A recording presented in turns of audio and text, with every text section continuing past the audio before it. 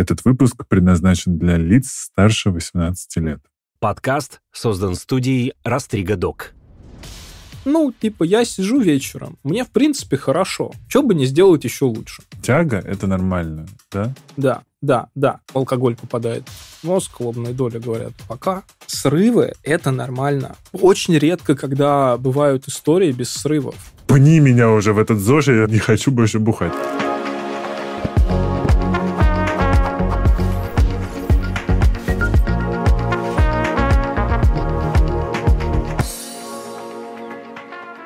Это подкаст «Накопились токсины», его ведущий душный зожник Игорь Кун. Со мной в студии клинический психолог, специалист по работе с зависимостями, преподаватель Илья Гавин. Привет. Привет. Спасибо, что позвал. Это еще ты мне скажешь после того, как подкаст пройдет. Я ж душнил, ты, может, еще сбежишь. А, Посмотрим, кто кого. Да. Друзья, прежде чем мы начнем, я попрошу вас подписаться, поставить лайк и написать отзыв или поставить нам оценку. А еще мы снова собираем ваши вопросы для финального эпизода сезона, на которые я постараюсь ответить. Вопросы вы можете писать мне в Телеграм, в наше сообщество ВК или на почту подкаста, куда вам будет удобно. Итак, Часто ли приходят с зависимостями, и как вообще звучит этот запрос у человека? Ну, тут вспоминается песня «Дельфина», а, с альбома «Не в фокусе». С утра приходят... встретимся там, где весна? Нет, нет, нет. С утра, с утра приходят ко мне люди разные. А. Можете послушать, да. А, слушай, да, приходят, ну, потому что я еще так позиционирую себя, и я как бы в этом разбираюсь, и это моя тема, скажем так. Поэтому, да, ко мне приходят люди, которые хотят поработать с зависимостью, угу. побороть свои какие-то вредные привычки. Поэтому, да, приходят. А, а как, как их запрос звучит? Ну, не знаю, например, я каждый день курю марихуану и хочу перестать это делать. Так, например. друзья, мы не призываем вас ничего курить, если что. Э, да, да, да. Ну, иногда запрос звучит э, так радикально. Хочу совсем отказаться. Mm. Э, хочу, чтобы в моей жизни больше этого никогда не было. Иногда этот запрос звучит более э, как-то расплывчато. Я хочу бросить на время. Я хочу, да, да, ну, Типа, у меня сейчас сложный период в жизни, там, не знаю, беременность там и так далее, я хочу пока отказаться там от алкоголя, например. Или э, иногда бывает даже запрос про контролируемое употребление. Mm. Да. Это тоже интересно. Я хочу употреблять, но хочу, чтобы меня это не разрушало. Угу. Часто это, конечно, чаще всего это миф, который мы э, в ходе э, сессии пытаемся как-то разрушить. Я почему спросил, как именно формулируется запрос? Потому что, мне кажется, люди, в общем-то, э, ну, то есть у нас в, к наркологам привозят, а вот с запросом типа «я хочу бросить пить», как будто бы не приходят. Нет? Ну, в смысле, они как будто начинают там чуть-чуть э, маскировать это. Или прям к тебе уже есть э, поток людей, которые осознанно приходят и говорят, да. я, блин, бухаю. Да, да, да, абсолютно. Офигеть. Да. Или это какой-то завуалированный запрос, когда, знаешь, приходят и говорят, что-то у меня с отношениями не очень.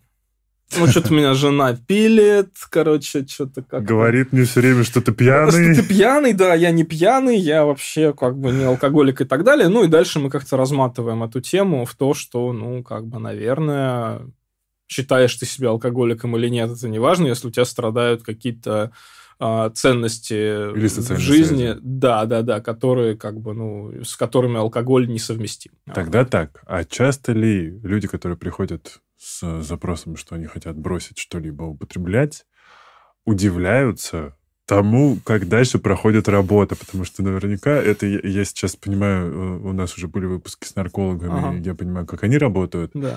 а вот про то, что приходится ковырять проблемы и там, не знаю, от чего ты бежишь или так далее. Давай здесь э, разверни чуть, как происходит работа с зависимостью, что именно вы там копаете вместе с клиентом? Ну, э, обычно так, смотри, я, я, копаем с клиентом, это хорошая, ты сейчас сказал хорошую фразу, потому что обычно клиент копает, угу. да, и пытается как бы из ямы, а, в которую он попал, выйти с помощью лопаты. Ага. Такой парадокс, да, вот. И а, что такое зависимость, в принципе, с точки зрения ну, психотерапии, да, психологии? Это расстройство избегания. Это не всегда избегание каких-то негативных эмоций, а иногда избегание скуки. Ну, типа, я сижу вечером, мне, в принципе, хорошо. Что бы не сделать еще лучше? Вот, например. Вопросов нет. да, да, да. Ноль процентов осуждения, сто процентов понимания. Да, да, да, конечно. И, ну, в краткосрочной перспективе это отлично работает. Даже так скажем, в секунду этой мысли тебе как будто правда это нравится. Ну, это идея. Да, и, может быть, даже на протяжении вечера тебе это нравится. Но далее, ну, как бы мы э, имеем, что имеем, да? Угу. Вот, поэтому мы это концептуализируем как э, все-таки расстройство избегания, и мы смотрим, э, да, от чего же человек бежит, mm-hmm. и э, что ему это стоит. Ну, вот этот бег, да, вот это вот лопата. И тогда мы э, можем увидеть полную картину. Это не так сложно, это часто не так долго. В понимании. Иногда человек уже приходит с пониманием, что есть проблема, например, что есть тяга, это тоже частая история. Вот есть тяга, она может быть очень физически неприятная, и тогда употребление может быть как избегание той самой тяги. Mm-hmm. Ну, когда она буквально за горло берет. Вот. А, а дальше начинается долгая упорная работа над поведением. А, ну, я здесь уже много раз признавался, что у меня не бывает похмелья. Угу. И э, в какой-то момент я просто обнаружил себя, что я могу реально выпить один очень много, угу. потому что я знаю, что у меня нет последствий вообще никаких. Вот. Но у меня был период такого жесткого зожа, когда я, э, я бросил курить и не пил совсем. И потом как-то это постепенно начало возвращаться, при том, что я там пережил несколько свадеб на всяких э, газировочках и прочем, ну, на минеральной воде. Угу. Э, и это, кстати, правда классный рабочий лайфхак. Наливаешь в бокал газированную воду, никто к тебе не пристает, что у тебя ничего не налито. Вот. Но потом как-то там сям... При том, что я очень люблю готовить и есть, поэтому раньше у меня это был прям целый ритуал. Я готовил себе вкусный ужин, я подбирал к нему вино, я шел там в бутик, э, задалбывал кависта, чтобы мне подобрали вино к моей еде, или я там заморачивался. Я эстет. Но... Мы же поговорим про триггеры потом, да? Да, конечно. Вот. А, и закончилось все тем, что я правда могу выпить очень много. И последний раз, мне кажется, офигели все от того, что на следующее утро поняли, что со мной ничего не происходит, все умирают. И я для себя сделал вывод, что раз у меня нет тормоза, такого как э, утренняя там головная боль или еще что-то, то мне точно не стоит усердствовать. Вот. И дальше я как бы для себя это разбирал. Вот когда у меня происходит какая-то ну, искра в голове, я не знаю, как это назвать. Ну, типа, что-то произошло, что-то триггернуло, uh-huh, uh-huh. захотелось вот этого седативного действия. Uh-huh, uh-huh. Я такой, стоп, вот типа это сейчас мне хочется. Но завтра я, ну, как бы, поскольку я адекватно понимаю, что алкоголь — это токсин, и организм как бы задействует до хрена ресурсов, чтобы его вывести, завтра я не попрусь на тренировку, и вообще как бы день надо будет перестроить. Потому что я, ну, в любом случае, меня 35, я не буду выглядеть уже лучше после там какой-то пьянки, да? Вот. И я просто начал с собой обсуждать этот вопрос, что вот мне сейчас хочется, а стоит ли оно того? Потому что вот это седативное действие, оно типа длится там первый бокал, а дальше как бы оно заканчивается, и все это уже зря. Ты еще сверху и наедаешь ненужные калории. И вот я в таком диалоге периодически пребываю, когда что-то ко мне приходит, такая мысль, типа, может, расслабимся сегодня. Вот. Это о чем мы говорим? О том, что у меня есть тяга, с которой я сам работаю и справляюсь, или мне с ней стоит поработать? Да, мне кажется, ты справляешься отлично. Здорово, что ты ее замечаешь. Спасибо. Ну, то есть, э, смотри, в твоем случае есть интересная штука, угу. которая на самом деле для многих новость. Ну, так. такая, знаешь, вау. А, те клиенты, которые ко мне приходят работать с а, зависимостями, а, в большинстве случаев а, хотят, как итог терапии, убрать тягу. Угу. Ну, то есть, чтобы не хотелось. Чтобы я об этом больше не думал, не вспоминал, чтобы меня за горло это не брало. А это возможно? Нет. Я про это же. Ну, то есть, смотри, а, я не... Давай так, если я скажу, что это невозможно, это тоже будет ложь, потому что я не знаю, как э, у человека это ну, сработает. Да, то есть, может быть, он действительно об этом больше не будет думать.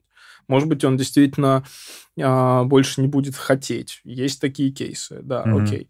Но а, если мы ставим перед собой такую задачку, то мы заведомо ставим а, задачку, ну, непосильную, по крайней мере, на данный момент. Mm-hmm. А, я тут своей историей могу поделиться. Я бросил курить лет 10 назад. Вот, когда я, собственно говоря, познакомился со своей э, женой, э, я бросил курить, ну, что-то там ей не нравилось, как от меня пахнет. И мне сейчас уже, ну, не хочется спустя 10 лет. Я как бы, меня не тянет. Но раз где-нибудь в месяца 4-6 мне снится, что я курю, и мне очень классно. Ну, вот что это такое, да? Может, это тяга, может, это какое-то там, не знаю, как угодно можно э, назвать, да, но вот это со мной осталось. И э, действительно, ну, люди начинают бояться вот, э, вот, вот этой истории. Господи, я подумал о том, чтобы опять употребить, а я же уже месяц трезвый. Да? И мы еще работаем над тем, что ты отдельно, а твоя тяга отдельно. И ты можешь с ней существовать и делать все, что угодно, она mm. будет просто с тобой рядом ходить. Ну да, что-то будет шептать тебе на ухо, но окей, ты можешь делать что угодно. Вот это, кстати, классно, классно, подсвет... классно, что ты это подсветил, потому что у меня очень многие такие, типа, блин, Игорь, а ты ешь сладкое, мы думали, типа, ты вообще можешь, ну, типа, ты святой. Я говорю, нет, ребят, ну, типа, я не ем сахар, но я могу там найти какой-то десерт без сахара, или я сегодня в, ре... в ресторане, и я хочу получить от этого, как бы, от этого похода в ресторан кайф, я съем что-нибудь, но в целом у меня дома может быть подаренные бутылки алкоголя, подаренные сладости. Это может лежать там месяцами до прихода гостей, например. Да и в целом это там до сих пор лежит. Я не знаю, что с этим делать. Но uh, когда-то у меня был бар, и он тоже стоял очень долго. И мне просто было по приколу собирать uh, разный вискарь, например. Uh-huh, uh-huh, uh-huh. Опять-таки, я его даже не пил. Вот как-то это по поводу было. Там, типа... Но э, я понимаю, что вот мы как-то это в, в, ну, валидировали, что типа тяга это нормально. Да. Да? Да, да, да. Ну, если мы говорим про внутреннее состояние, mm-hmm. да, а не про то, что, о, тяга это нормально, значит, мне нормально сегодня выпить, да. Ну, то есть, э, ну, сейчас для кого-то нормально, для кого-то нет, да. Я имею в виду все-таки людей, которые уже в таком, ну, короче, клиенты мои, да, mm-hmm. кто, кто, ну, действительно хочет оставаться в трезвости, да, и возможно, что в данном случае избегание, например, держать у себя дома бар и лишний раз себя как-то, ну, условно говоря, искушать, ну, может быть, оно и не очень полезная история. Mm. Ну, и в твоем случае, окей, это работает нормально, да, у тебя там, наверное, не было каких-то серьезных проблем с, с алкоголем, да, но мы еще работаем над, конечно, над окружением, над социальными всякими э, паттернами поведения. Ну, то есть, э, в идеале, конечно, самый классный итог терапии. Это когда человек проходит мимо любимого бара и своей компании, говорит им привет и идет дальше. Ну, Mm. Или он даже посидел с ними, выпил той же газировочки и пошел, да, и э, пошел домой. Но часто это бывает, правда, сложно, особенно на первых этапах терапии. Ну, я видел такие трансформации, я затаскиваю людей в спорт периодически, в разный, ну, такой фитнес, скажем, э, в ЗОЖ, а порабощаю и люди действительно отказывались от своих старых компаний, потому что им просто раньше они не знали, чем заполнить свое время. А тут я говорю, смотри, есть вот такая тренировка сегодня, завтра вот такая, послезавтра давай побегаем, после послезавтра пошли поплаваем. То есть нет такого, что мы упарываемся в зале с гантелями. Я именно придумываю чем активным заняться. И через год человек офигевает от того, что вся его жизнь перестроена, и она классная, и он недоволен. И вот у меня приятельница как раз э, э, ради эксперимента однажды через год пошла на тусовку со своей старой компанией. И она ушла с нее через час, потому что ей было не о чем с ними как бы дружить больше. Ну, да, видишь, да. То есть э, пример, когда изменение социального окружения, да, изменение каких-то хобби, там, поведенческих каких-то историй, привычек, да, приводят человека в э, какую-то, ну, там, совершенно другую жизнь. Но... Так. Смотри, э, мы же тут зависимости обсуждаем, да, и зависимость не только социальная проблема. Угу. Это биопсихосоциальная история, да, поэтому просто, ну, то есть, смотри, я сейчас ни в коем случае не умоляю твоих э, Ой, заслуг. Да, Умоли да. их все. Да, ладно. Уничтожь мой нарциссизм. Ты сам напросился. А, да, смотри, просто затащив человека в спорт, Угу. Я а... одну аддикцию заменил другой? Нет, нет, нет, это-то ладно, как бы, да, это мы еще поговорим про чайные клубы, про спортклубы и так далее, да, про вот этот вот фитнес и т.д. Вот. А, но есть же еще генетическая предрасположенность. Есть еще э, психологическое состояние. Понятно, что поведение влияет на там, психику, психику на поведение и т.д. Вот, и все это влияет на тело там, и на социальное окружение. Но э, а, сейчас просто может быть, может быть, у наших слушателей может сложиться впечатление, что типа, э, ну, у меня друг бухает, поэтому я сейчас с ним пойду на спорт, и он перестанет бухать. Ну, нет, как это, бы нет. Да, ну, это не так хорошо, работает. если это сработает. Да, класс, вообще старайтесь, пытайтесь, но а, не всегда это работает. И среди людей, страдающих расстройствами вследствие употребления чего-либо, всяких психоактивных веществ, есть много людей, которые занимаются спортом регулярно. Есть те, кто занимается йогой, медитацией, зожем тем же самым. Ну, то есть э, утром йога, вечером дорога, это как бы, ну, не, не то, что прям вот ну, только на заборе написано. Днем зож, вечером кутеж, я да. называю. А, ну хорошо, видишь, а ты смягчил. Да, поэтому здесь, в принципе, может быть ну, как бы работа, хорошая работа в трех направлениях, да, это биопсихосоциальная. Поэтому очень часто я людей направляю еще и к психиатру, например, потому что там называется коморбидность, да, угу. депрессия, СДВГ, а, какие-то личностные расстройства, какие-то тревожные расстройства, биполярно-аффективные и так далее. То есть О. зависимость это вершина айсберга. Давай поговорим про качели из триггеров и вины, может быть. Что ты имеешь в виду, расскажи. Ну, э, вообще, как бы, да, эта тема родилась у меня, потому что я, правда, в соцсетях начал часто видеть, как люди выставляют э, счетчики, сколько времени они не пьют.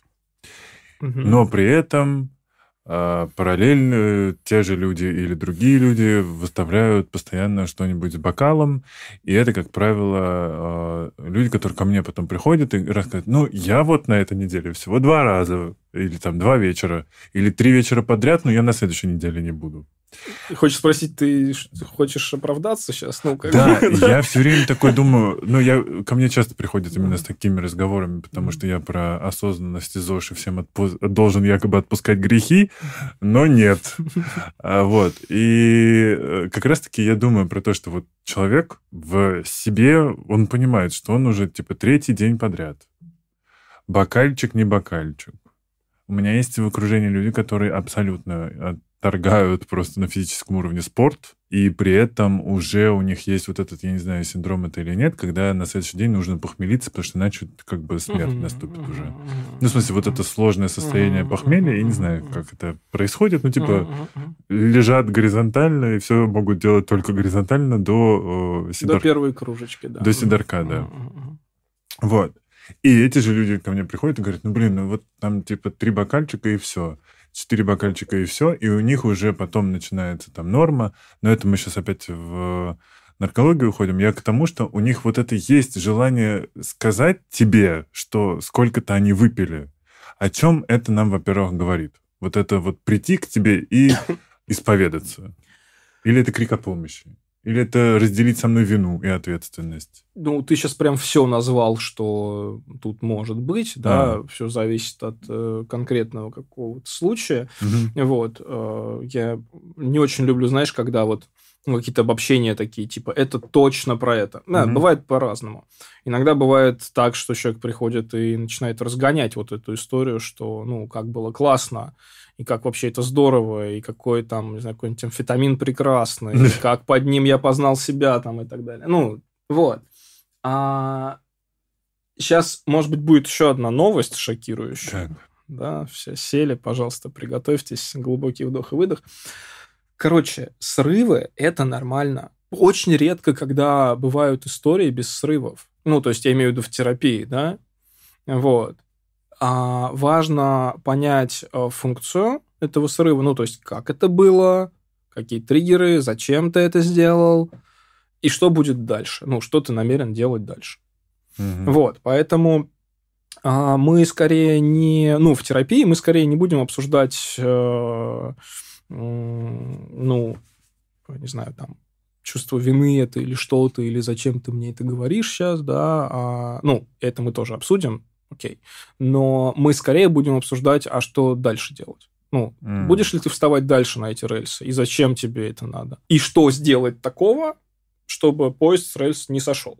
Не знаю, ответил ли я на твой вопрос? Ну, меня просто здесь... Э, давай так, тогда да. как э, человек, к, к которому приходит, я думаю, таких немало, как дру, другу, да, быть другом. То есть, когда к тебе приходят твои ага. друзья и рассказывают, сколько они недель подряд пьют, не пьют, вот это, как э, здесь себя надо вести? Мы имеем в виду человека, у которого есть проблемы с э, не, вот э, употреблением. Человек, которого, просто... к, к которому пришли и уже не первый раз приходят, и ты не понимаешь, с тобой пытаются ответственность разделить, вину, а, от тебя просят помощи, может быть, наконец-то, может быть, просто ко мне, вот, типа, как человек, который на ЗОЖе после приходит и говорят, типа, пни меня уже в этот ЗОЖ, я не хочу больше бухать. Я же не понимаю этого. Ну, во-первых, что такое пни, да, во-вторых, э, ну, самое классное, что здесь можно сделать, это спросить, а ты сейчас мне это зачем рассказываешь? Об этом я не думал. Да, ну, ну, то есть, вот, вот часто мне рассказываешь, что я только три бокальчика выпил, да, а, ну, ты мне сейчас это зачем рассказал? Угу. Чего ты хочешь? Хочешь, чтобы я тебе сказал, молодец, что три бокала? Или ты хочешь, что, что, что ну, как ты говоришь, да, или, грехи... Или предложить грехи, еще дунуть. Или предложить еще дунуть, да, или что. Ну, вот, а, Поэтому э, тут, мне кажется, все зависит от э, действительно кейса. Ну как, мы же можем э, стараться подкреплять э, какое-то полезное поведение для человека и не подкреплять неполезное. Э, ну, к примеру, угу. вот сейчас просто тоже сверху накину, а есть э, разные чайные клубы, ну, угу. Китайский чай, вот эти вот чайные церемонии и так далее, да, и там есть э, ребята, которые раньше вместо чая употребляли что-то спиртное на регулярной основе, вот. И а, когда, ну, а, а их как бы можно отличить от просто потребителей чая. О, да. Понимаешь, о чем я, mm-hmm. да? То есть они прям мутят. У них это превращается в ритуал, как вот эм, как с каким-то очень дорогим виски, например, или как с какой-нибудь травой, или там еще что-то. То есть э, эм, для них это замена од- одной аддикции на другую, вот. И иногда это может выглядеть как безалкогольное пиво, ну, потому что безалкогольное пиво это все равно обслуживание тяги. Да. Да. Вот это еще одна новость.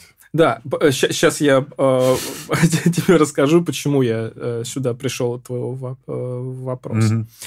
А, иногда функцией такого поведения, да, вот, ну, вот этого рассказа, да, может быть как раз э, разгон вот этой тяги на обслуживание вот этой тяги, когда и приходит и говорит, вот, я выпил там вчера вот столько, а, такого-то вкуса там и так далее, да, ну, я больше не буду, но хотя, с другой стороны, вот это там, значит, новый какой-то вид сидра там и т.д. Вот.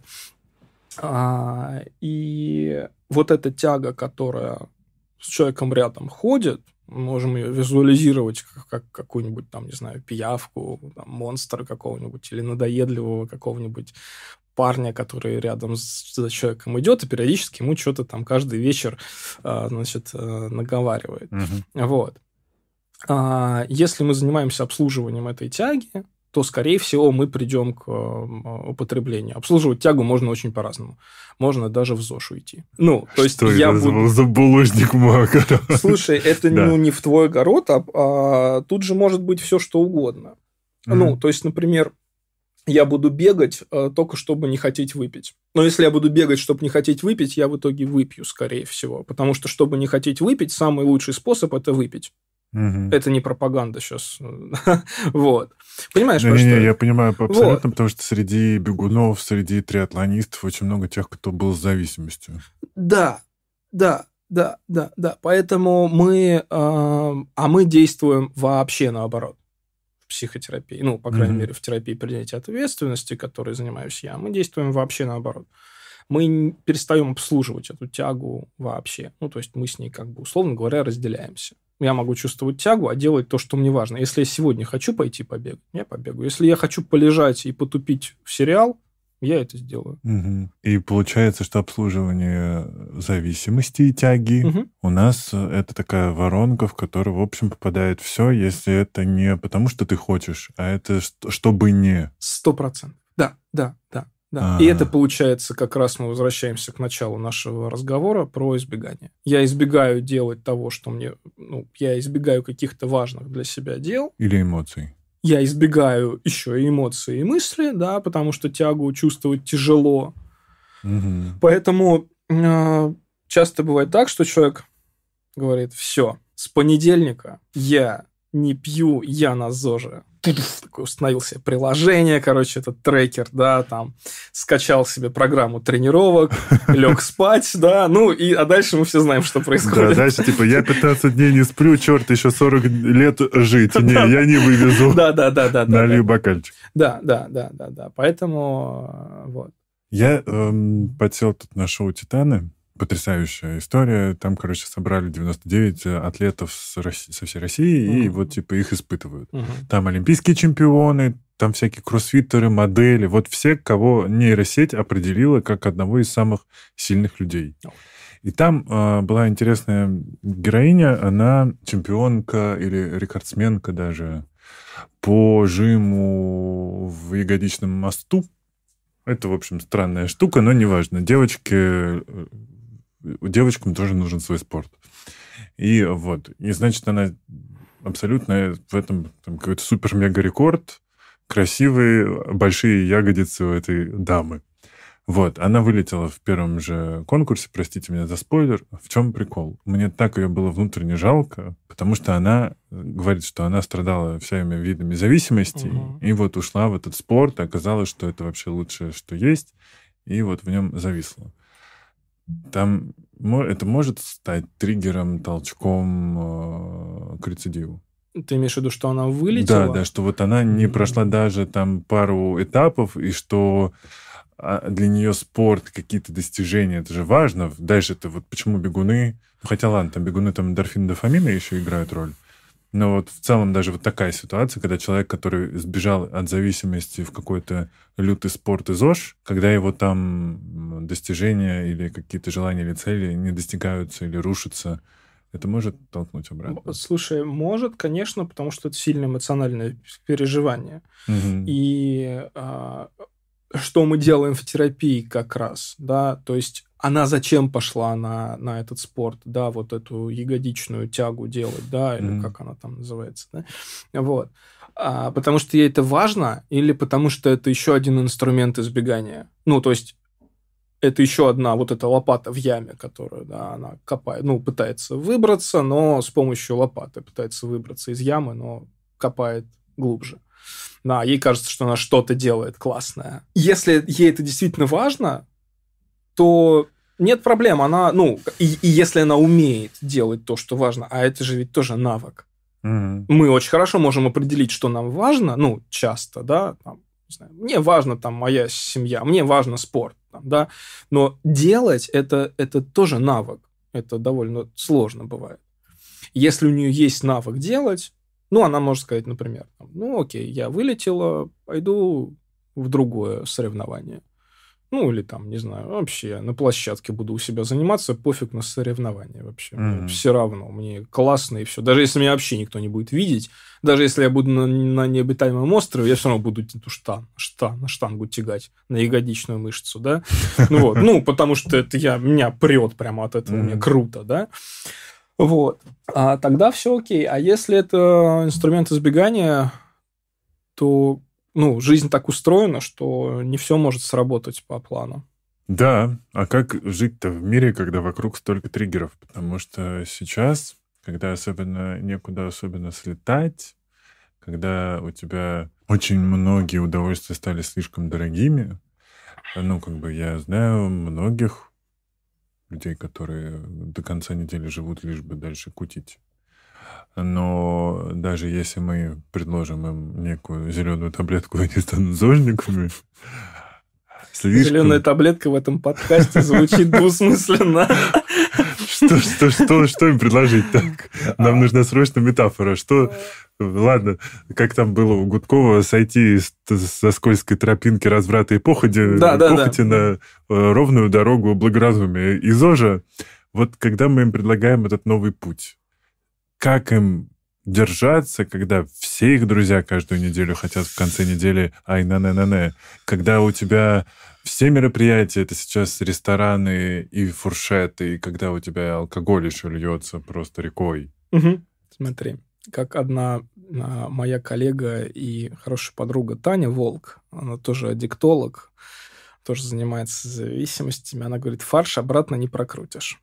Угу. Ну, то есть, если ты уже побывал на этой скользкой тропинке порока и разврата, то а, вот эта ровная тропин, тропинка ЗОЖа, скорее всего, я сейчас, опять же, я не хочу обобщать, да, говорить за всех, это у всех по-разному, но эта тропинка ровная может быть очень скучной. И тогда готов ли человек выдерживать эту скуку ради того, что ему важно? Да. Я тебе здесь прям готов поставить памятник, потому что я почему-то никогда не произносил эту мысль вслух. Абсолютно точно очень многие, кто э, ведется на мой образ жизни, охреневают и такой, типа, Игорь, а зачем? Да, ну вот, именно так, да. Ну, то есть, эм, например, это очень часто проблема э, людей, которые попробовали когда-то или практиковали долго, ну, на протяжении времени какого-то секс под э, психоактивными веществами. Mm. Это не пропаганда, друзья, но как бы секс под мифедроном и, и, и секс без мифедрона – это очень разные вещи. И, опять же, фарш обратно не прокрутишь. А, в смысле, мозг уже не забудет? Ну, и, да. И, и, и хочется повторить. Ну, да особенно современные э, наркотические вещества вызывают, э, ну, во-первых, это мощнейшее позитивное подкрепление, ну, в кавычках, да, позитивное. Mm-hmm. Ну, короче, назовем кайф, да. Mm-hmm. Вот, особенно если это какие-то стимуляторы, да. И ну, конечно, забыть это сложно, этот опыт, да, и очень часто люди приходят и говорят, хорошо, я там неделю ничего не употреблял, но окей, ладно, тяга там, я понял, я это переживу, окей, черт, скучно, что mm-hmm. делать? Я на йогу сходил, я помедитировал, я кино посмотрел, я с девушкой погулял, я там, не знаю, с, друз, с друзьями встретился. Пять часов вечера, что делать? Что еще, да? Что еще? Да, да, да, да, да. Ну, они все так и говорят, да, типа этот ваш пресный ЗОЖ. Да. И тогда мы учимся скучать. Это тоже навык. Ну, вообще здесь надо даже, можно и э, поучиться отдыхать, потому что очень многие думают, что если ты лежишь и залипаешь в сериал или в соцсети, это тоже отдых. А на самом деле можно пробовать вообще ничего не делать. И как раз тоже, тоже подумать, ну, посмотреть, как ты это выносишь. Для некоторых, мне кажется, для, может быть, даже для многих, не знаю, просто сидеть, ничего не делать, это вообще не отдых. Это же ты с собой сталкиваешься, это же угу. ты со своими мыслями сталкиваешься, это же ты со своими какими-то эмоциями, там, окей, назовем это какими-то внутренними там демонами, безднами сталкиваешься, да, а ты всего лишь стоишь просто и в окно смотришь. Ну, это тяжело выдерживать. Слушай, а то, что я, например, вот этим занимаюсь во время бега, это тоже относится к какому-то моменту. Ну, то есть я, ну, то есть я вот в, там, в течение дня не, не, не, нет времени побыть с собою, о чем-то с собой поговорить, пораскладывать какие-то мысли. Мгм. И я понимаю, я прям такой думаю, все, завтра я побегу, и мои эти там 40 минут или час я буду бежать, и вот, ну, вот у меня в голове идут вот эти медитативные иногда процессы такие, когда я просто типа какими-то картинками летаю, либо я вот ну, с собой разговариваю, прорабатываю какие-то вопросы, которые меня волновали. Это как бы о чем говорит? Я вот пытаюсь понять. Это говорит о том, что ты экономишь условные 5000 рублей на психолога.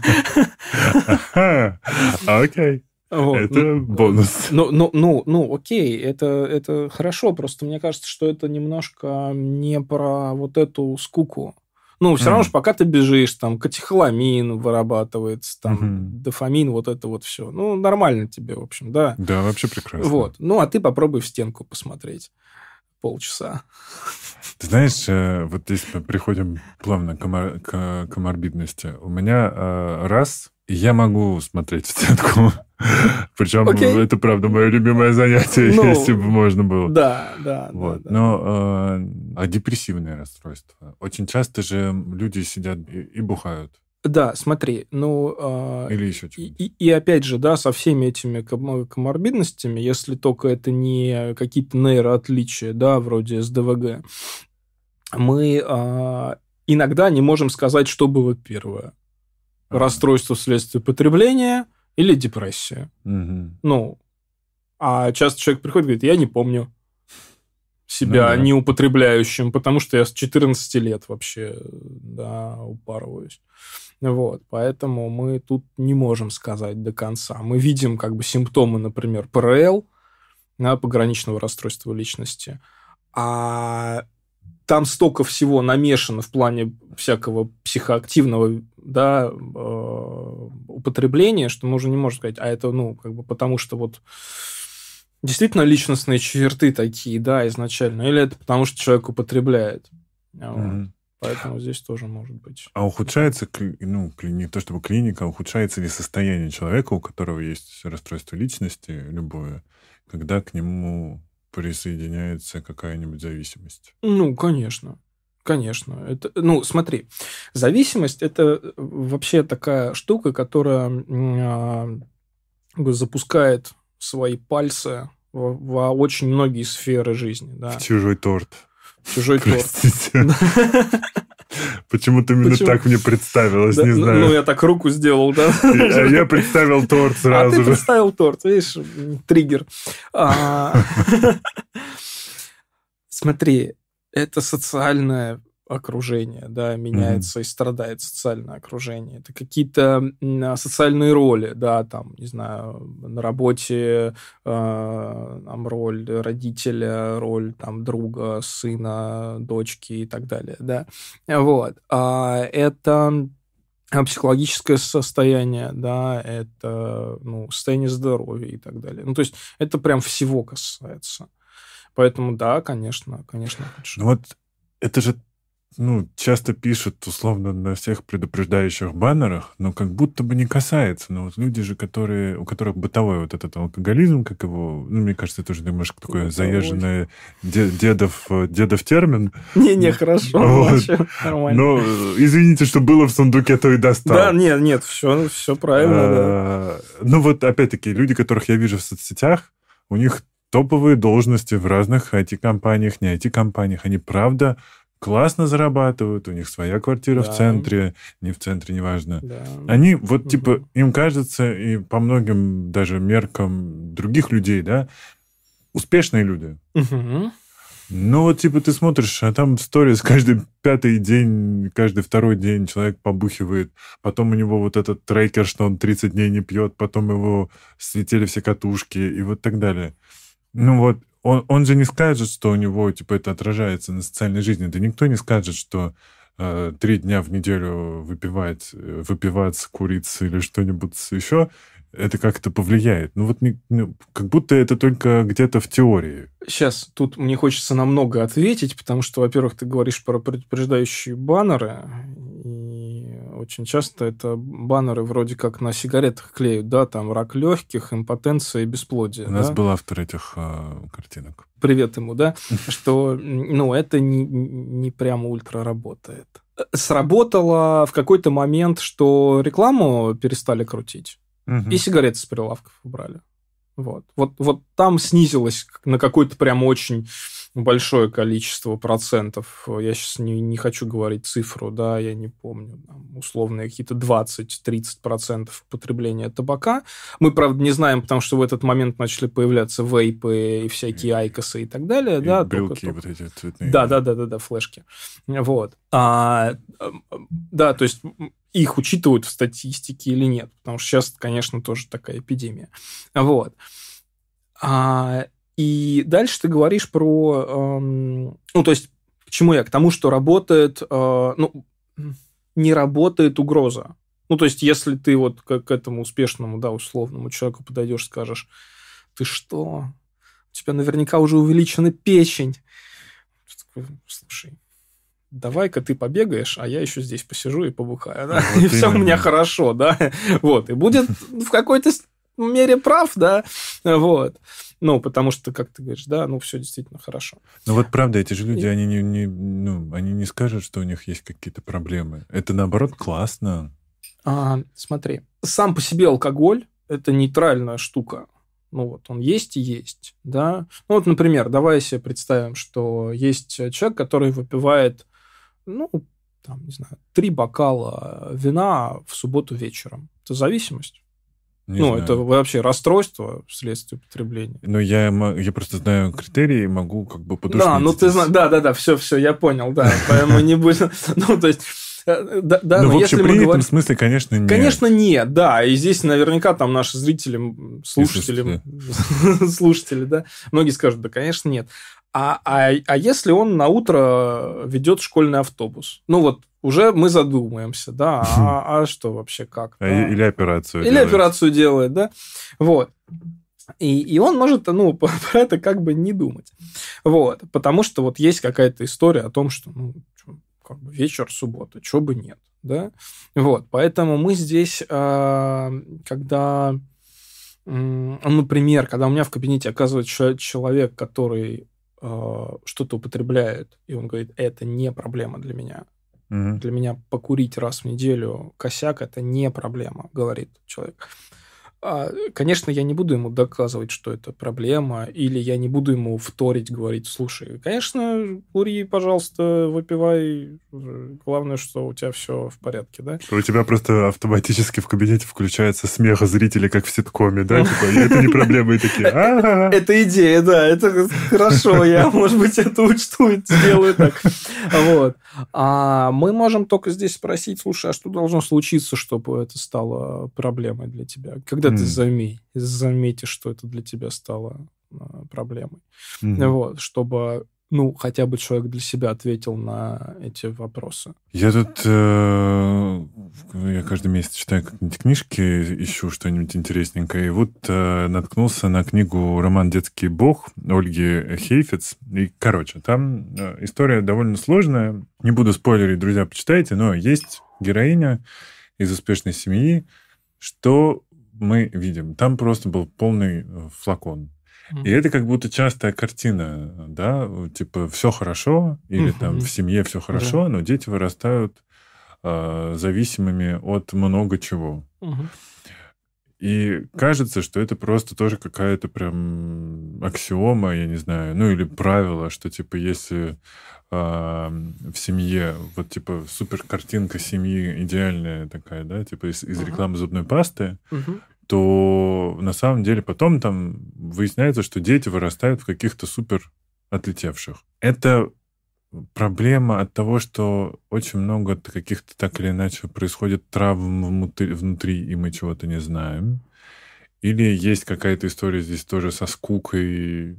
Как, какие у тебя здесь мысли? Мне бы сейчас очень хотелось э, сказать, что да, всегда там есть какие-то травмы, и у богатых, успешных людей всегда в подвале привязаны люди, там, знаешь, вот это вот все. Но, а, опять же, я здесь хочу вернуться к этому тезису, что проблема зависимости не только социальное, не только психологическое, не только биологическое. Если мы будем говорить о том, что, э, там, не знаю, вот он зависимый, потому что у него там богатая семья, ему все разрешали, или у него там были какие-то травмы, еще что-то, а мы будем неправы. Потому что есть люди, которых там состоятельная семья, они как с рекламы зубной пасты и так далее, но у них нет проблем с э, употреблением. И есть наоборот. То есть это проблема не чего-то одного, а это скорее всего вместе. То есть есть э, зерно, ну вот семечко мы посадили в землю. Так. Семечко есть? Есть. Хорошо. Если его не поливать, оно не прорастет.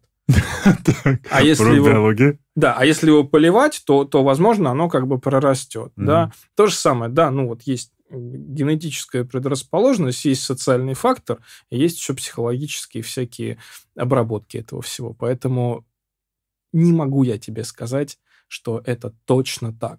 Но... Ну, не, не мне даже. Я просто здесь да. к тому, что миллионы, ну, когда-нибудь будут миллионы слушателей, родителей, да, да. парятся же, что они травмируют своего ребенка и, или что-нибудь ему примером покажут, что вот ты при ребенке покурил, он теперь всегда будет курить. Нет.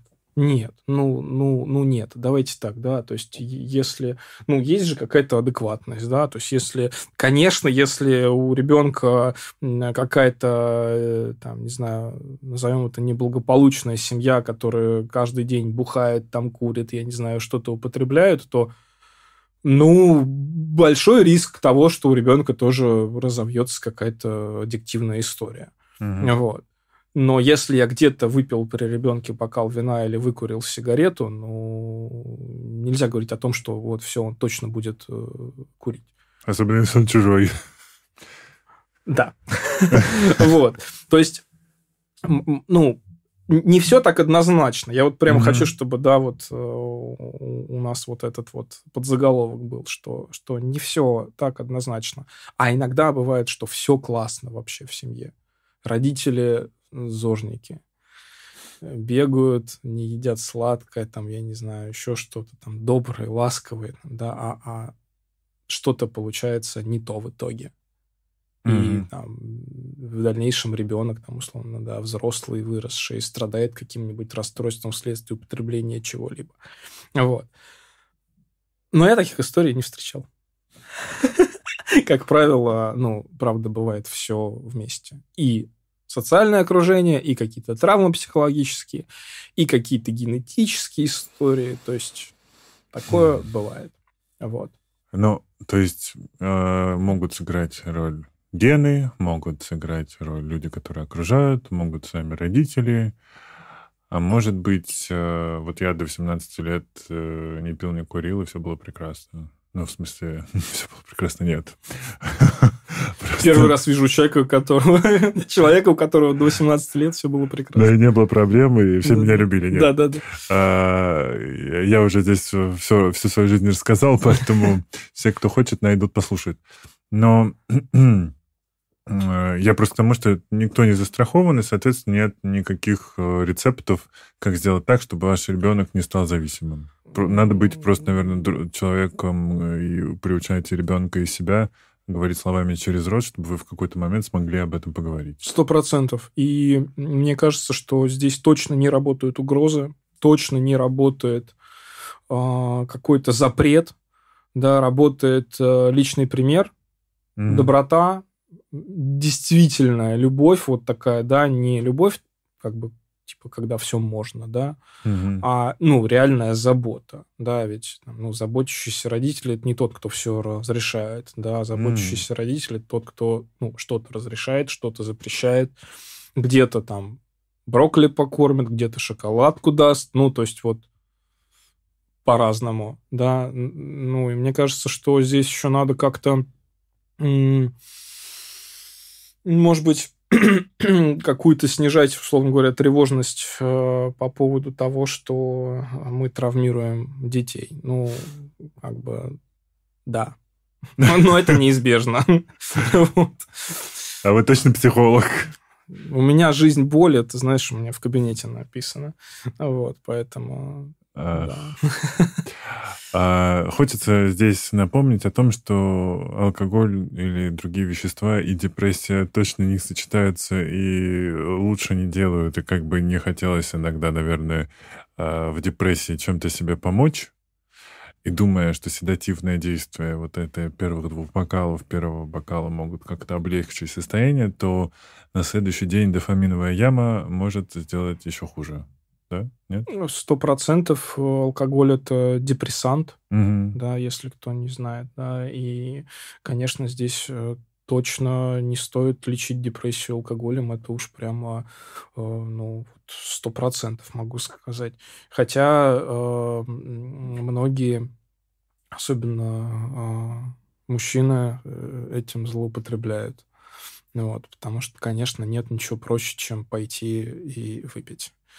А и злость также можно купировать. Ты, ну, типа, психанул, можно. день не очень, врезал в стену, кулак болит, выпил сверху и прошло. И еще рук, это, кулак в водку окунул тоже, да. Водка же она лечит все, да. Ну или так. Таких рецептов не знаю. Мы за доказательную медицину. Не-не-не, ну знаешь, есть же это, это поверье, что там всякие компрессы из водки, там, да, растираться. Вот растираться водкой, лежать в водке, я не знаю, что там еще делают. Вот. Да, да, конечно, мы за доказательную медицину.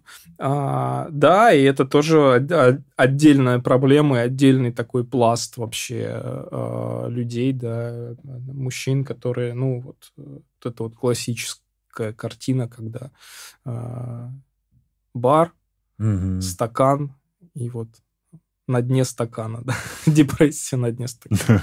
Вот. Ну, э, тоже, да, социальный такой контекст есть, что Мужчина, идеал мужчины это такой немножко, ну, не эмоциональный такой товарищ, который ну, вот этот вот, как тот самый ковбой, или как его там, на Харлей приезжает, курит сигарету, заходит в бар, пьет и едет дальше, как будто... Да, и у него больше... лицо как стенка, вот, ну, не меняется да, вообще. Да, да, и больше он ничем в этой жизни не занимается да, в целом. Абсолютно, да, да, да. Вот, поэтому э, здесь, конечно, тоже это такой э, огромный социальный миф, э, где, э, честно говоря, мужчины в этом плане выступают слабым полом, mm-hmm. если да. У нас уже были нотки сексизма в этом подкасте, поэтому да. я продолжу, ладно? вот. Давай, давай, так играем что... до конца. да, да, да. Ва-банк. Вот, поэтому а, действительно вот проблема алкоголя а, да, среди мужчин, э, там еще больше ярко выражено вот это избегание. Mm-hmm. Вот избегание тоже там, эмоций, грусти, не знаю, гнева. Вот я хотел тебя спросить, страдания. чаще всего от чего бегут? Что э, человек в итоге, думая, что он сейчас избавится от зависимости, потому что он думает, что у него просто ему надо перестать покупать, а в итоге выясняется, что он просто что-то не умеет, не знаю, контейнировать чувства, или от чего бегут? Ну вот сегодня да, давай... век трудоголизма, все типа успешный успех, э, что там еще, не знаю, от чего бегает Я тебе глобально житель? скажу. От дискомфорта. Ну, А-а-а. очень большая идея у нас, да, о том, что надо вот жить в комфорте. Надо все время вот чувствовать себя хорошо. А, что жизнь вообще комфортная штука. Ну, что да, жизнь сделана для того, чтобы, ну, я чувствовал себя хорошо. Ну, вот нет, дорогие друзья. Да, это как-то э, э, утопично. Да, да, да, это не так. А мы неосознанно как бы к этому стремимся, да, то есть э, стремимся сделать все лучше. И с одной стороны, ну, это классно, да. Ну, вот я сейчас сижу вот на этом мягеньком стульчике, и мне прям очень удобно. Вот. В общем, мне вообще комфортно, классно. Вот. Но если я буду везде это правило применять, что мне должно быть везде хорошо всегда, то, скорее всего, я где-то буду ну, терпеть неудачи. Mm-hmm. Вот. Поэтому от дискомфорта очень многие из нас бегут. Поэтому и выстреливают иногда вот эти mm-hmm. вот аддиктивные истории, да, с зависимостями, потому что они дают моментальный эффект комфорта. Ну, mm-hmm. кому чего, да, кому надо разогнаться там и поработать еще 18 часов, кому нужно там горе залить, кому нужно скуку побороть, кому нужно там еще что-то. Вот. А там mm. уже меню открывается у нас на маркетплейсах. Знаешь, я еще подумал, что часто таким показателем того, что у человека могут быть проблемы с какими-то зависимостями, это РПП. Сталкивался, не сталкивался. Часто ли у людей, которые зависимы от каких-то химических веществ, есть еще другие какие-то вот именно расстройства там пищевого поведения, например? Э, ну, да, да, да есть, э, есть коморбидности с э, РПП, но мы здесь, смотри, нам сейчас главное не уйти здесь в то, что есть какая-то зависимость от еды. Угу. Мы это не концептуализируем как зависимость. Ну, угу. потому что, смотри, с едой э, скорее нужно наладить отношения, а с кокаином отношения наладить, ну, не стоит. Не, да, ну, вряд ли получится, да. Над этими отношениями мы не будем работать. Да, да, да, да. То есть, скорее, да, здесь мы говорим, что, ну, слушай, полный отказ, да. Вот. А от еды отказаться в принципе невозможно, да, поэтому мы здесь налаживаем с ней отношения, и это чуть другая работа, чем mm. зависимость. Если честно, я не прям специалист в РПП, я в этом не силен. Mm. Вот. Про триггеры. Угу. Как они работают? Я не знаю, стоит ли как-то здесь что-то распаковывать, но, наверное, люди, которые, может быть, э, с какой-то осознанностью уже подходят и замечают у себя mm-hmm. какие-то задатки, тяги, или, может mm-hmm. быть, прям буквально тягу, да, слушать песню Анны Асти «Меня лечили подруги» и крепкий чивос, и такие, точно, это инструкция. Ну да, да, да, да, таких инструкций может быть очень много, да. Вот. А, ну, смотри, во-первых, э, классно для себя разделить э, триггеры на три категории как минимум. Это внутренние, внешние и социальные. Угу. Ну, то есть внутренние это вот те самые эмоции, мысли, про которые мы говорили выше, да. А социальная это вот как раз песня, да, какая-то где-нибудь там или компания, или вот эти вот, знаешь, новые дома, когда там, ну вот башня, да, и там на каждом торце, ну, да, четыре алкомаркета. А, да. Вот, да. А, и а, внешние, да, то есть это, ну, там, они могут пересекаться те же алкомаркеты или там любимый бокал, а, или там, буквально бутылка вискаря, которая стоит в баре и манит, да, вот. И есть триггеры, которые мы можем убрать, и это будет достаточно эффективно, ну, то есть буквально э, выкинуть виски или подарить кому-то, или там еще что-то с ним сделать, в смысле не употребить. А, а алкомаркет мы с э, ЖК не вырежем. Ну, не, нет у нас таких, да, как бы, скорее всего, да, не, не, нет, нет у нас таких возможностей. Поэтому где-то мы тренируем готовность э, вылить виски, а где-то мы тренируем принятие, что, ну, вот, ну, вот так. Мир наполнен триггерами. Да, да. И опять же, да, то есть э, часто встает вопрос, а мне что теперь, вот, ну, к друзьям не ходить на вечеринки? А я их вообще-то люблю они классные, но они выпивают. И тут тоже мы трени... ну вот выбор, да, постоянно вот в этой точке выбора мы находимся, да, то есть мне сейчас что, с друзьями пойти и ну, я столкнусь с этой пиявкой, да, которая мне будет на ухо шептать, что, ну, а сейчас один бокал, это ничего страшного, ты же уже 30 дней не пьешь. Ты же уже даже в инсту выложил. Да, тебя уже там даже, ну, подкрепили, сказали, какой ты молодец, да, поэтому можно сейчас выпить. Да, вот она будет это э, шептать, э, тяга. А, и мне с этим будет тяжело. Но я схожу к друзьям, потому что они важны мне, и я готов с этой тяжестью, да, вот, ну, заплатить этим дискомфортом за дружбу. Или я не готов, э, я посижу дома. Но тогда я откажусь от друзей на сегодняшний вечер, как минимум, да, и это вот тоже постоянно вот это вот готовности принятия, да, вот, изменение и принятие, вот этот вот, как бы, качели. Что-то я могу изменить, что-то я должен принять. Да, ну, я думаю, что расстраиваться от того, что потом перестали звать на, на тусовки, тоже не стоит. я через это проходил, ничего страшного не происходит в жизни. И да, и нет. Ну, то есть, э, смотри, вряд ли я буду рекомендовать кому-то не ходить на тусовку, где выпивают. Скорее я, ну, как бы Смотри, нельзя так однозначно сказать. Не ходите, если вы хотите перестать пить, не ходите на тусовки, где выпивают. Потому что это, возможно, будет избеганием. В случае с тобой это сработало, видишь, хорошо, и ты такой, ну, я вообще от этого не страдаю. Нормально, как бы мне. А у кого-то семья так, например, живет. Да я вот знаю, что те, кто там, ну, в, в конкретном городе, ага. в, ну, в Москве, допустим, ага одни, да, люди, там, пара, например, то они как бы начинают образовывать какие-то свои, создавать свои э, традиции, да, там какой-то свой круг формировать. И угу. почему-то решают, что классно будет там созвать всех, и мы там что-то приготовим и выпьем. Угу. И это, правда, социальный клей. Да. Мне кажется, глобально мы этот социальный клей уже никогда не уберем. Если только на законодательном уровне не совсем не запретят, но я был в Дагестане, где алкоголь харам, извините, там тоже есть алкомаркеты. Да. да И прекрасное да, дербенское да, вино. Да, да, да. Да, так что э, э, от этого, ну, не убежишь от наличия этого всего, да, вот, но при этом э, мне кажется, что важно понимать, что тебе важно, и важно замечать, что с тобой происходит. Угу. Ну, типа, я замечаю, что я сейчас чувствую тягу, но мне важно быть в этой компании, ну, потому что здесь, не знаю, там, мой лучший друг. И вот прямо сейчас он выпивает бокал вина. А меня жутко тянет. Но мне важно с ним общаться. А еще мне важно, там, не знаю, мое здоровье. И вот этот постоянный баланс, да. А еще я понимаю, что жизнь без дискомфорта невозможна.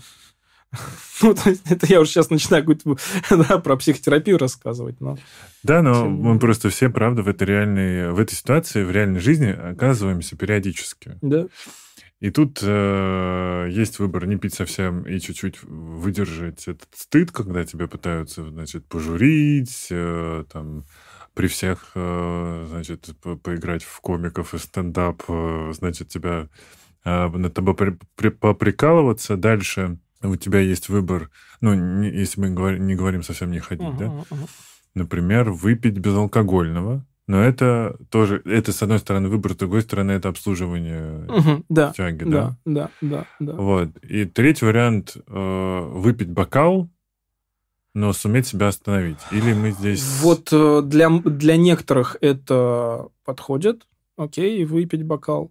Но если человек уже был в таком активном употреблении и в то, что называется, ну вот, раньше назывался алкоголизм, сейчас называется расстройство вследствие употребления. И вот если это было, ага. то вряд ли здесь можно говорить о том, что можно выпить бокал и ничего не будет. Да. Ну, алкоголь попадает в мозг, лобные доли говорят пока. Выходит бы, из чата. Да, да, выходит из чата, и, и как бы дальше уже второй, третий, и дальше я уже ничего не помню, и очнулся в понедельник. Mm. Вот, поэтому здесь вот надо, ну, как бы с осторожностью. Вот. Поэтому не для всех эта история про контролируемое употребление, вот про которое я говорил в начале, да, оно подходит. Ну и далеко не со всеми веществами. Как бы. То есть если про алкоголь мы еще можем говорить здесь, да, то про многие всякие современные психоактивные вещества, ну, вряд ли что-то получится в плане контроля. Как выглядит человек, который успешно поборол зависимость? Вот мы просто тоже... Грустно. Ладно, я шучу. Но мы как-то все время представляем себе какого-то суперчеловека, который якобы, вот, знаешь, такой, типа, смотрит на бутылку и смотрит сквозь нее, как будто условно говоря. Да, по-разному. Слушай, есть же разные способы победить э, вот эту зависимость. Мне не нравится слово победить. Мне вот тоже кажется, что оно странно здесь. Э... Давай так, есть разные кейсы, когда человек перестает употреблять. И живет вот спокойно. Живет, давай, живет. Вот спокойно, мы я не, не помогаем знаю. сейчас. Мы не помогаем. Нет, а мы сейчас, у нас нет цели помочь, да? Вот. А, смотри, есть, например, ну, человек, который прошел 12 шагов, будет сильно отличаться от человека, который прошел, например, какой-нибудь э, КПТшный протокол, да, или там Smart Recovery. Это тоже... Поясняй. Мы тут утонем. А, смотри. А... Я просто даже ничего не знаю про 12-шаговую программу. Ну, у нас нет времени, чтобы про нее рассказывать, ну, да. но условно говоря, э, один может быть, может выглядеть очень ярым фанатом трезвости, знаешь, такое, типа, везде бегать и отнимать бокалы у всех, там, я не знаю, кидаться в бары, там, помидорами. Ну, ладно, это я сейчас утрирую очень, но тем не менее, да. Ага. Ну, вот ты такого человека, там, например, на тусовке сразу увидишь, да, который тебе говорить, ты не пьешь, да, ты такой, да, молодец. А вот эти вот все твари. Вот. А, ну, либо человек там, да, более там, ну, лояльный, например, да, или, например, он куда-то не пойдет вообще, да. Вот. Я сейчас не говорю, что одно хуже другого, да, в итоге, ну, как бы мы все равно говорим о том, что человеку больше подходит и что ему важно, да. Вот, поэтому выглядит по-разному. Мы не можем здесь говорить о том, что там, один выглядит лучше, другой хуже, или там, что все выглядят ужасно, кто поборол там зависимость и так далее. Опять же, есть же еще физиологический фактор.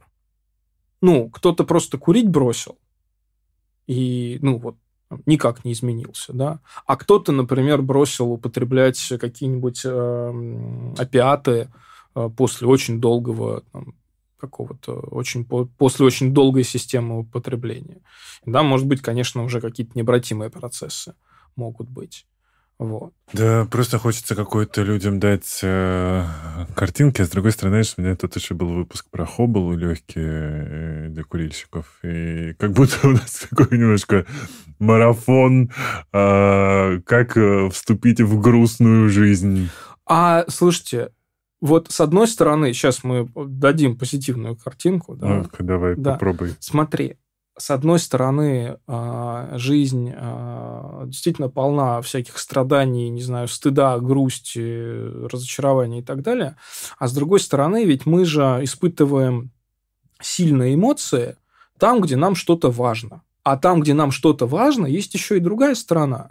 Это радость, любовь, близость, дружба и так далее. Мы, не, например, не переживаем за людей, на которых нам все равно, ну, да, которых мы не знаем. Мы переживаем за людей, которые нам близки. Мы переживаем за себя, за свое здоровье, например. Мы переживаем за свою работу, да, которая нам важна, переживаем за свое будущее и так далее. И с другой стороны, нам это очень важно, и мы можем получать от этого удовольствие, от того, что мы делаем, что нам важно. Просто у этого удовольствия есть еще другая сторона. Ну, там, тревога, например, грусть какая-то. Mm. И классно, мне кажется, классно брать от жизни все. Вот когда мы говорим, бери от, жизни, от жизни все, да, буквально все. ну, прям совсем все. Сейчас гедонисты придут такие, так и мы и берем от жизни все. Окей, они не придут э, с проблемой. Mm. Да, может быть, пока. Вот. Поэтому э, настоящий гедонизм, как, как, как мне кажется, да, настоящий гедонизм, он сопряжен еще и с, со всем спектром эмоций. Угу. Иначе это невозможно, к сожалению. Ну, долго не протянешь на одной э, радости или в погоне за, за ней. Это интересно, кстати, да, что мы в этом в бесконечной какой-то в бесконечном поглощении информации отовсюду почему-то э, в итоге получаем какую-то картинку, что реально все должно быть про комфорт, счастье, радость и цветных пони. Да, да, да. И когда мы выясняем, что там не цветные пони, да. все такие типа, что... Да, да, а вот давай теперь подумаем, возьмем простую вещь, да, вот поехать в, в отпуск. Mm-hmm. Что может быть лучше? Инклюзив может быть лучше. Да, но это ж надо, смотри, денег заработать mm-hmm. для начала, да. Это ж надо еще билеты купить, оформить, вот это вот все. Ну, я, например, это отвратительно, вот это вот билеты покупать, перепроверять даты, заполнять. Терпеть там, не могу, ужас. Но, ну, как бы, а можно не ехать. Ну, да, да. Вот, поэтому и вот этот пример, да, маленький, он может показать, что как бы, ну, на самом деле это все так. А как вы с супругой для себя здесь выработали какую-то систему или философию? Вот под конец раскрой свой секрет. На тему чего, в смысле? Как не употреблять, э, не кормить тягу, как вы здесь с собой или между собой договорились? Ну, у меня супруга, в принципе, не любит алкоголь вообще. А мне, а, наверное, я для себя... У меня есть такой а, лайфхак, а, что мне просто выпить скучно, и мне нужна прям очень сильная организация для этого. Ну, то есть мне прям надо подготовиться. У меня на утро ничего не должно быть. А. там, из важных дел, да, а, вот. Мне нужно там пойти в магазин, мне лень ходить в магазин, я довольно ленивый чувак, вот, мне лень ходить в магазин, поэтому у меня всегда есть какая-нибудь газировка или чай, вот, поэтому так. Ну и потом э, я не очень люблю, в принципе, состояние измененного сознания. Клинический психолог, специалист по работе с зависимостями, преподаватель Илья Гавин был сегодня у нас в гостях. Спасибо, что пришел. Спасибо огромное. Это был подкаст «Накопились токсины», его ведущий душный зожник Игорь Кун. Услышимся в следующий вторник. thank you